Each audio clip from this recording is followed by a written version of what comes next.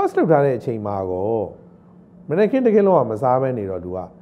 ဘာမှမစားဘူးလားရေလေးတောင်မတော့ဘူးလားဆိုတော့ဘ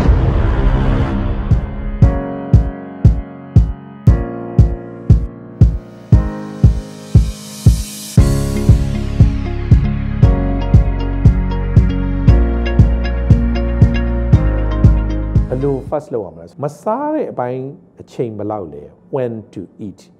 နော်စားတဲ့အပိုင်းအချိန်ဘယ်လောက်လဲအဲ့တော့ research တွေအများကြီးလုပ်ထားတဲ့အထက်မှာအများလက်ခံပြီးတော့အဲလောက်ရကန်ရလွယ်တယ်အများလိုက်နာနိုင်တဲ့ဥစ္စာကတော့168လို့ခေါ်ပါတယ်ဒါပါလဲဆိုတော့16နာရီမစားဘူး8နာရီစားတယ်ည10နာရီအိတ်တယ်ပေါ့နော်မနေ့က6နာရီနိုးတယ်6နာရီနိုးလို့ရှိရင်10နာရီကနေ6နာရီထိအောင်ကအားလုံး8 hours ကြာသွားပြီနောက်ထပ်8နာရီသာမစားဘဲနေရင်ဒီ regime နဲ့ဝင်သွားပြီ အဲ့တော့ဒီ regime နဲ့ဝင်သွားဖို့အတွက်က8နာရီကနေပြီးတော့16နာရီ direct မပြောင်းချင်အောင်မှ8နာရီကနေပြီးတော့နောက်ထပ်2နာရီတိုးလိုက်မယ်မနေ့6နာရီမှမစားသေးဘူး8နာရီမှစားမယ်ဆိုရင်ဒါ10 hours first ဖြစ်သွားပြီဆိုလိုတာကတိတ်မခက်ခဲဘူးဆိုတဲ့ဥစ္စာလေးကို highlight လုပ်ချင်တာဖြစ်ပါတယ်အဲ့ဒါကိုသူတို့က lean gains intermittent fasting လို့ခေါ်တယ်ဘာလို့လဲဆိုတော့ fat တွေကတဖြည်းဖြည်းနဲ့ကုန်သွားပြီးတော့ human growth hormone ကနေပြီးတော့ modify လုပ်လိုက်တဲ့ muscles တွေက တဖြည်းဖြည်းနဲ့ lean body physique ကိုရတဲ့အတွက်ကြောင့်မလို့ lean gains intermittent fasting လို့ခေါ်တယ်ဒါ number 1ဖြစ်ပါတယ်အဲ့တော့နောက် second regime ကတော့ဘာလဲဆိုတော့ alternate day fasting လို့ခေါ်တယ်ဒါနည်းနည်းလေးပြင်းတယ်နော်ဘာလို့လဲဆိုတော့24နာရီစားမယ်24နာရီမစားဘူးဒီတိုင်းလုပ်ရင်တော့ weight ကတေချာပေါက်ကျတယ်ဒါပေမဲ့ sustainable ဖြစ်ဖို့ခက်တယ်နောက်တစ်ပြောရှိတာလုပ်နိုင်တာပါလဲဆိုတော့ weekly intermittent fasting ဆိုတာရှိတယ်ဒါတပတ်မှတစ်ရက်ပဲ24နာရီပေါ့နော်အဲ့တော့ တပတ်လုံးမှာမှ24နာရီပဲ first လုပ်ထားတယ် body weight ကိုသူထိန်းထားနော် body weight လည်းထူပြီးတော့မကြဘူးမလုံနိုင်ကြမရှိဘူးပေါ့ဒါမျိုးနဲ့စပြီးတော့ transform လုပ်မယ်ဆိုရင်လည်းလုပ်လို့တော့ရပါတယ်အဲ့တော့ first လုပ်ထားတဲ့အချိန်မှာကိုမနေ့ကင်းတကယ်လုံးကမစားဘဲနေတော့သူကဘာမှမစားဘူးလားရေလေးတောင်မတော့ဘူးလားဆိုတော့ဒီမှာ exception ရှိတယ်ရေတောက်လို့ရတယ်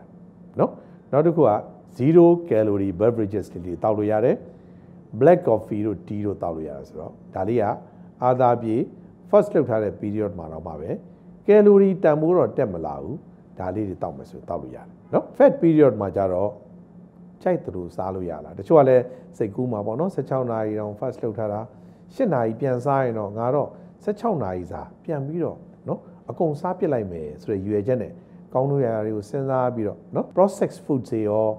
high carbohydrate foods တွေရောနော် refined carbohydrates တွေရောအကုန်စားပစ်မယ်ဆိုရင်တော့စောစောကစူဆုံးထားတာလေးတွေအကုန်လုံးအလကားဖြစ်သွားမှာဖြစ်ပါတယ်ဒါကိုလုပ်လို့ဖြစ်နိုင်မှာမလားဘာလို့လဲ you are already doing it ဟိုးတမိုင်းတွေကစပြီးတော့လုပ်ခဲ့တာရှိတယ်အိတ်နေတဲ့အချိန်မှာလည်းမစားဘဲနေတာရှိတယ်နည်းနည်းလေးအချိန်လေးကိုတိုးလိုက်တာပဲဖြစ်တဲ့အတွက်ကြောင့်မလို့မဖြစ်နိုင်စရာမရှိဘူးဒါပေမဲ့စားတာလေးတော့ရှိတယ်တဖြည်းဖြည်းနဲ့မစားဘဲနေရင် ghrelin ကမထွက်တော့ဘူးเนาะမထွက်တော့ဘဲနဲ့ तू ကသူ့ကို immunity ရသွားရင် तू ဒီလည်း hunger ကို stimulate လုပ်မှာမဟုတ်တော့ဘူးအဲ့လိုပြုလုပ်ခြင်းအပြင်တဖြည်းဖြည်းနဲ့ balance ကို restore လုပ်သွားနိုင်တယ်လူတိုင်းလုပ်လို့ရလား no there are some contraindications เนาะ intermittent fasting မလုပ်ရမယ့်အခြေအနေတွေတော့ရှိတယ်ဒါတွေလည်းသိထားဖို့လိုပါတယ်ကလေးတွေပေါ့နော် intermittent fasting ကိုသွားလုပ်မယ်ဆိုလို့ရှိရင်ဒီဥစ္စာဒီမလုပ်သင့်ဘူးဒါကြောင့်မလို့ဒီ population တွေမှာမလုပ်အောင်အလားတူပဲ women တွေမှာ pregnancy တို့ breastfeeding ဆိုမှာကျွန်တော်တို့က contraindication တွေသတ်မှတ်ပါတယ် type 1 diabetes တွေ intermittent fasting လုပ်လို့မရပါဘူး history of the eating disorders တွေเนาะ anorexia nervosa တို့ bulimia nervosa ဆိုတာတွေမှာလည်းလုပ်လို့မရဘူးလူခန္ဓာကိုယ်ကအရန် fat တွေနည်းနေရင်လည်းလုပ်လို့မရဘူးနောက်တစ်ခုကတော့ cortisol များတဲ့ condition တွေမှာလည်းလုပ်လို့မရပါဘူးအထူးအားဖြင့်ဘာအကျိုးကျေးဇူးတွေရှိမှလဲဆိုရင်တော့တချို့ဆို intermittent fasting เนาะဒီ strategies နဲ့ပဲ weight ချအောင်စူးစမ်းနေတဲ့လူတွေအများကြီးပဲဖြစ်ပါတယ်နောက်တစ်ခုကတော့ metabolic disorders တွေဖြစ်သော type 2 diabetes mellitus เนาะအဲ့ဒီက consequences ကနေပြီးတော့ heart diseases တွေဒါတွေမကဘူးเนาะ brain နဲ့ပတ်သက်ပြီးတဲ့ခါကျတော့ brain fog တွေကိုညော့စေတယ် Alzheimer's Parkinson's disease တွေကိုညော့စေတယ် even inflammation and malignancies တွေကိုတော့ညော့စေတယ် immune function ကိုတက်စေတယ်လူရဲ့သက်တမ်းကို longevity ကိုကောင်းစေတယ်ဆိုပြီးတော့ဒါကိုကြည့်ခြင်းအပြင် there are so many benefits ပါ intermittent fasting ချက်เนาะ အကျိုးကျေးဇူးတွေကများပါတယ်ဒါလေးကိုပဲ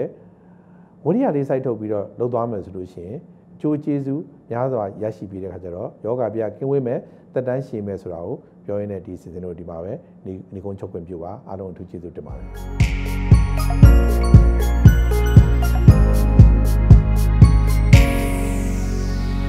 CFAM, caring for well being.